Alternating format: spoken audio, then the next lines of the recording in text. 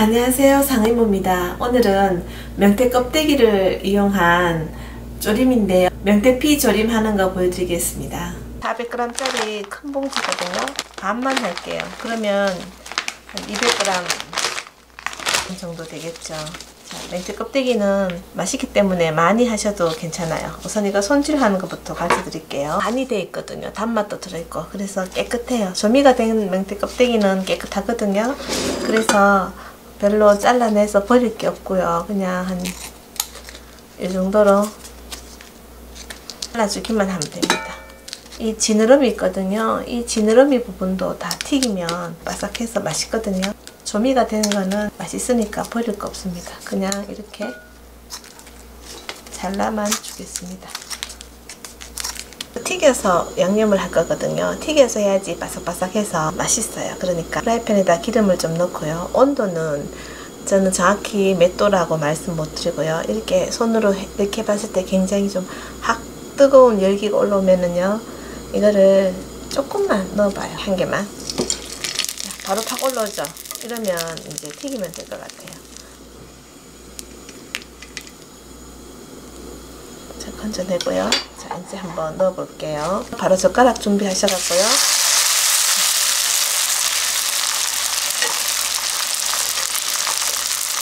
조금 갈색이 났을 때 꺼내요. 너무 오래 두면 안 돼요.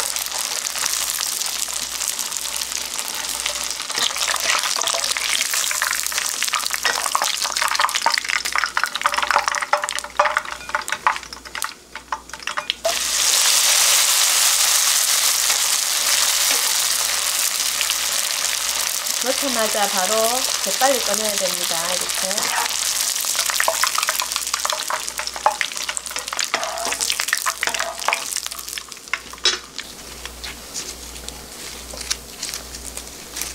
이렇게 금방 튀겨 놓으면 요래 식는 동안에도 이게 색깔이 조금씩 더 익어가서 조금 원래 꺼냈을 때보다 색깔이 좀 더 진하게 변해요. 근데 이거 펼쳐가지고 식혀야 돼요.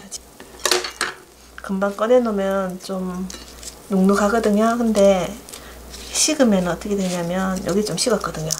바삭해지죠. 이거를 식혀야지 바삭해지는데 저는 선풍기 앞에 두거나 이렇게 부채로 붙여서 식힙니다. 아니면 시간이 많으신 분은 그냥 이렇게 놔두시면 식어요. 식는데 저는 조금 빨리 식혀야 하니까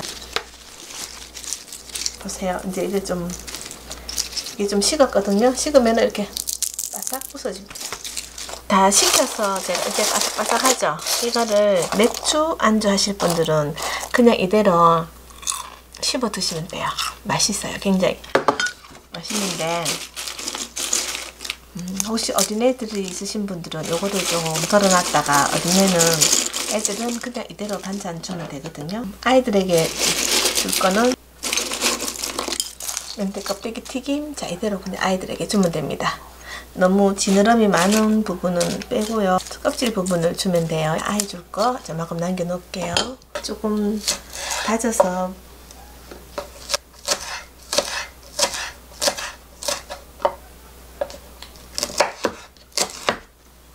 여기다가 이제 양념을 보여드리겠습니다. 간장이에요. 진간장입니다. 진간장 한밥 숟가락 조금만 더. 한 숟가락하고 조금만 더 넣었어요. 마늘 반 스푼. 그리고 고춧가루 한 스푼. 올리고당이죠. 올리고당을 두 스푼 넣겠습니다. 물을 좀 넣어줄게요. 물을 세 스푼만 넣습니다. 이거를 끓여줄 거기 때문에 물을 조금 넣고 끓여야 됩니다. 이렇게 불을 켜고요. 지금은 불을 좀 강하게 끓여야 되니까 불을 좀 강하게 할게요. 끓어오르기 시작하는데요. 끓어오르면은 조금만 더 물을 졸여줄게요. 타지 않게 이렇게 저어줍니다.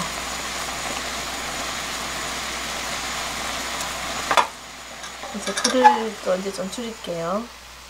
약하게 약불입니다.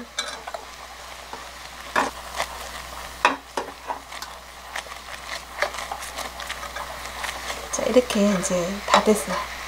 이렇게 약불 해가지고 한 30초만 이렇게 더 저어주면 끝났습니다. 참기름 반 스푼요. 이 양념을 또 식혀줄 거예요. 자, 이제 양념도 이제 다 식었고요. 그리고 맹태 껍질도 다 식었고. 맹태 껍질 반찬이 얼마나 맛있는지 옛말에 아, 부자도 생선 껍질 먹으면 3년 안에 망한다는 말도 있거든요. 그 정도로 생선 껍질이 맛있다는 거예요. 이렇게 바삭바삭 소리 들리시죠? 자. 들리시죠? 그런데 이게 어, 양념을 해서 이렇게 드실 때는 괜찮은데 통에 넣어서 뚜껑을 덮고 놔두시면은 이게 결국은 약간은 다시 눅눅해져요. 근데 완벽하게 뭐 100% 눅눅해지지 않지만 한 50%는 눅눅해져요.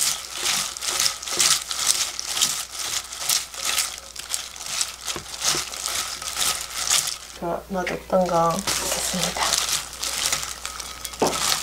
아까 썰어뒀던 청양고추와 그리고 대파를 넣고요. 마지막에 통깨를 이게 고소한 맛으로 먹기 때문에 통깨를 한 스푼 넉넉히 넣었습니다. 다 됐습니다.